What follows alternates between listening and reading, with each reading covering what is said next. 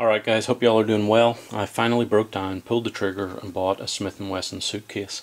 Let's have a look inside. Would you look at the size of that?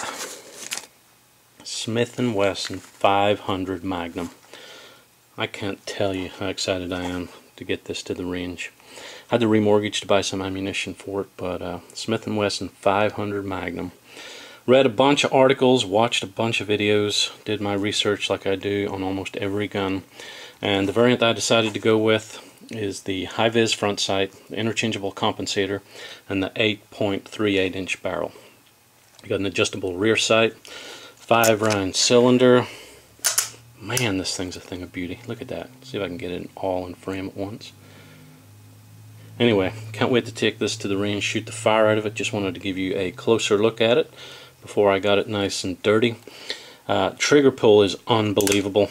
It has this uh, wide competition trigger here. It's so crisp. Just drops the hammer. Uh, one of the articles I read said that it has a four pound trigger pull. I have no way of uh, confirming that. Feels lighter, and they did mention in the article it felt lighter because of that wide competition trigger. It feels incredibly crisp and probably one of the nicest triggers I've wrapped my fingers around actually.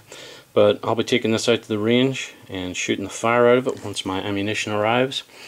And uh, what more can I tell you? Smith & Wesson X frame I've never owned one before. I've shot one in the past. Uh, it was inevitable that I would buy one. I do have a hunting trip at the end of the month to Jurassic Park. Hope to take out a T-Rex, but if I don't get a T-Rex, I'll settle for a Velociraptor. But I'm going to take this to the range and uh, shoot the fire clean out of it, guys. Just wanted to give you all a closer look at it before I got it nice and dirty.